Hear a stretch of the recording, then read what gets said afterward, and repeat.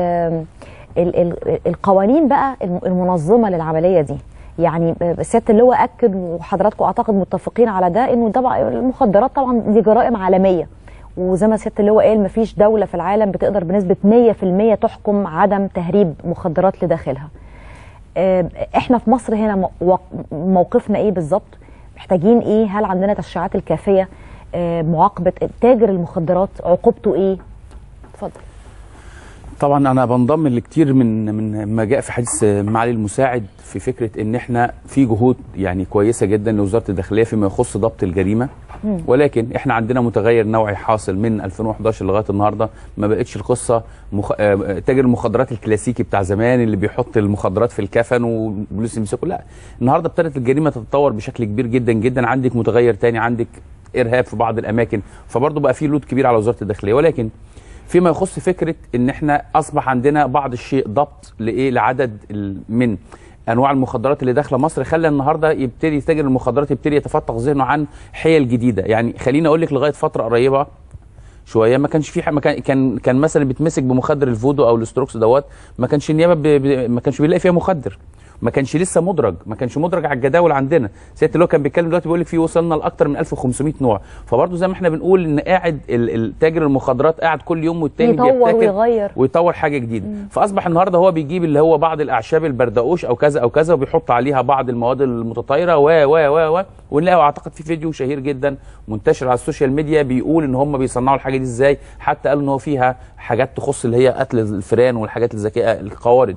وفي ناس كتير آه ضبط وفي مخدرات ناس لسه كتير جدا قضية الأسبوع. اللي فات في 6 كيلو ونص ستروكس ما هو ده الفيديو ده،. مظبوط سم هو فران الستروكس هو الفودو ولا ده آه، حاجة آه، هو؟ ده، آه، آه. والاثنين حبوب مش كده؟ لا مش لا لا لا ده عشب عشب وبيحطوا عليه حاجات آه بيتاخد إزاي يعني بيتم تناوله إزاي؟ بيتحط على ال- زي السجاير على التبغ والسجاير والحاجات دي آه، بتشرب زي. زي زي البانجو. تمام زي البانجو فده طب ما ده لو اتعبى سجاير عادية فعلا يبقى صعب قوي إن أنا ألاقيه لا ده يعني بيموت ده كمان في ناس كتير في حالات كتير لا صعب إن أنا. أكتشفه يعني صعب إن الضابط آه يعرف إنه فلان ده معاه ما هو سجاير فهو هيعرف إزاي؟ لا لا ما هو بيبقى باينه السيجارة من فات- السيجارة اللي هي العادية يعني بتبقى باينة أو صعبة حتى الأسبوع اللي فات. اداره المخدرات ظبط قضية هذه القضية عبارة عن عشب أنا هرجع لحضرتك سم فران. المستشار يكمل بس سم فران آه، صراصير أيوه. أيوه هي دي هي دي تمام اتفضل يا فندم فهي الفكرة إن انت الأزمة عندك دلوقتي مش في مجرد مش في فكرة البناء الحماء التشريعي، البناء الحماء التشريعي متواجد، عندك عقوبات تصل إلى حد الإعدام في حالة جلب المخدرات من الخارج، ولكن الفكرة دلوقتي النهارده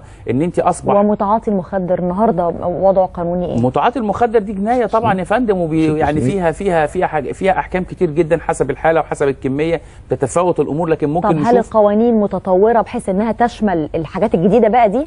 يعني القوانين أعتقد إن القوانين أصبحت حشيش الآن وبانجو ده ده ده ده. شيء كلاسيكي والهيروين والحاجات دي آه. لكن النهارده أصبح عندي متغير جديد زي ما قلنا الحاجات اللي هي الستروكس أو الفودو أو حتى اللي هو بيقولوا عليه الزومبي اللي كان أحد الأشخاص كان جابه كان في واقعة شهيرة في المعادي وعض حد وعوره ده كان جاي من أحد البلدان الأفريقية وكان شاب من جنسية أفريقية هو اللي عمل القصة دي لا. فالنهاردة أصبح آه ده لما تعاطى المخدر ده حس إن هو يعني مش آه يعني بقى عنده حالة هياج بقى راح عض عض حد وعوره. حاجات زي كده تمام. فالنهاردة حتى كمان ابتدت اللي هو فكرة التطور اللي بيحصل في فكرة التشريعات. انت النهارده كمان ال ال ال ال ال الأنواع الجديدة والمستحدثة أصبح إن انت عشان تلاحقيها من الناحية التشريعية أصبح ده أمر مرهق ليكي. ولكن anyway إحنا يعني ستيل إن إحنا بنقول إن عندنا إدارة مكافحة المخ- المخدرات شغالة بشكل كويس القوانين شغالة بشكل كويس. وأنا بكلمك وأنا راجل بتاع قانون في المقام الأول. في راي شخص المتواضع أن القانون لوحده لن يحدث الفارق. القانون لوحده مش هيخلي إن إحنا النهارده عندنا فكرة بنقول إن نسب تعاطي المخدرات ما بين طلبة المدارس وبين الطلبه الجامعيين ازدادت بمثلا بمقدار 2.7 من عشرة مؤخرا. ده بيقول بيديني مؤشر خطير إن أنا النهارده أصبح بدل ما كنت بتكلم زي ما كنت بتقولي على بعض ال- الناس اللي هم بيتعاطوه علشان فكرة إن هو هيخلي تركيزه أعلى وهو بيسوق أو كذا أو كذا أو حتى كمان بعض خدم المنازل ابتدوا إن هم ياخدوا الترامادول وياخدوا التامول والحاجات دي عشان تخليها تشتغل أكتر. فالنهاردة أصبح بعض التسريبات تحصل من الطلبة لبعضيهم أنا عايز أسهر بالليل أذاكر عايز آه، أطبق عشان عندي امتحان الصبح. طب خد لك النص البرشامه دي آه، و- وسواق النقل زي ما كنا بنقول وسو- وسواق النقل أو البعض البعض البعض. منهم. آه، واعتقد إن. القرار ده برضو احد أحد أشكال التطور التشريعي. القرار اللي صدر بمنع سير النقل داخل البلاد قبل الساعة 12 بالليل. وبقى يش- يشتغلوا على على الإقليم الدولي. ده جه نتيجة ان إن شفنا طريق الساحل الشمالي وعدد طبعا في الفترة اللي فاتت صحيح. عدد من الحوادث المروعة حصلت فيه. فده النهارده بيقول إن إحنا فكرة إن إحنا بنقول إن إحنا التطور التاريخي التطور التشريعي لمجابهه مثل هذه الجرائم المتطورة أي نعم ممكن يجي بطيء شوية ولكن إحنا شغالين عليه أو الدولة شغالة عليه لكن كمان أنا شايف إن المسار التوعوي أعتقد إن هو هيكون مهم جدا. وكمان ملاحظ إن للأسف الشديد أما بتيجي دولة بتشتغل كويس فيما يخص مجال التشريعات أو حتى مجال ضبط ومكافحة الجريمة ومتعاطيها أو حتى كمان وزارة وزارة الصحة وزارة التضامن الاجتماعي صندوق مكافحة وعلاج الإدمان كل هذه الأمور بيجي عندي حد تاني بيعمل بيعمل خرق في هذا الجدار الحمائي ألاقي مسلسل طالع بيقدم لي التاجر المخدرات أو بيقدم لي ال ال ال الراجل اللي هو خارج على القانون إن هو الشخص الكويس جدا اللي بيبتدي في فترة صغيرة جدا بيحقق الجدع. الجدع اللي الجدع وبيلتف حوالين منه الحسنوات و-. وأمه واقفة في. البلكونة بتدعي له يقول لها ادعي لي وبتحدف له قبلة في الهواء عشان هو تاجر مخدرات فده اللي إحنا بنتكلم فيه النهارده أنت عندك دولة بتحمي عندك وزارة تضامن عندك كذا عندك وزارة عدل عندك وزارة داخلية عندك مجتمع مدني عندك إعلام واعي بتيجي من الناحية الثانية بيجي واحد بيهد الكلام ده في مسلسل قوامه 30 حلقة. 30 حلقة بيقول لي من خلالهم إن تاجر السلاح والمخدرات هو البرنس بتاع المجتمع ده كله وهو الراجل بيقدر يحقق كل نفوذه وعنده أوضة مليانة فلوس بيقعد ينام عليها وبيقول إن هو حقق كل أحلامه. لكن أنت بتيجي النهارده بتديني الكبسولة في الآخر خالص إن هو مات؟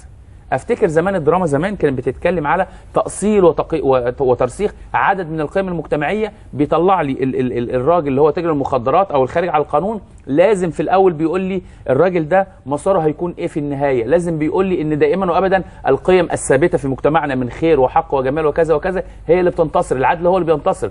ولكن في النهاية النهارده أصبحت الصورة معكوسة. أصبح النهارده إن أنا بلاقي إن حتى اللي ما عندوش خبرة اللي ما عندوش خبرة إن هو إزاي يعمل سيجارة المخدرات أو يتعاطى بعض الأنواع النهارده. النهارده أصبح من الفيلم. أصبح الفيلم والمسلسل بيعرفوا إزاي يعمل دوت. يعني أنا بشوف دايما كتير يا دكتور مشهد بتاع ليمونة. أنا نفسي أعرف الليمونة دي بيعملوا إيه حضرتك بتقول إيه؟ آه والله صح الليمونة دي بتعمل أنا إيه؟ نفسي أفهم الليمونة بيعملوا بيها إيه. فتلاقي حاجات كتير النهارده أصبح إن أنا عندي جهود دولة شغالة في مكان ومجتمع مدني شغال في مكان وإعلام واعي شغال في مكان وتلاقي النهارده بيطلع فكرة ال- ال- المخدرات في ال- في الأفراح الشعبية اللي بنشوفها. هيجي بعض الناس وده كان مسار حديثي مع أحد المخرجين المشهورين جدا طبعا. لما سألته عن الموضوع ده قال لي أنا بجيب من الواقع. قلت له طب ما الواقع برضو يعني في حاجات كويسة نعمل spotlight على الحاجات الكويسة. ولكن فكري غير فكري غير فكري ده غير فكري. ده ربما ال- الأرباح التجارية وحسابات رأس المال بتلعب بعض آه، الدور في هذا الأمر إن هو عارفين دلوقتي أصبح عنصر الجذب رايح لفين. بنجيب آه، نماذج إيجابية يعني حتى يمكن النمو- النموذج الإيجابي طبعا المشرف بالنسبة لنا فخر العرب محمد صلاح أما عملوا الحملة بتاعة المخدرات صحيح. أظن إن هي لم يتم لم يتم. استخدامها بشكل بشكل جيد ولم يتم الترويج ليها بشكل جيد ولكن هي خطوة على الطريق أتمنى إن هي تكون في المستقبل أفضل بإذن الله دكتور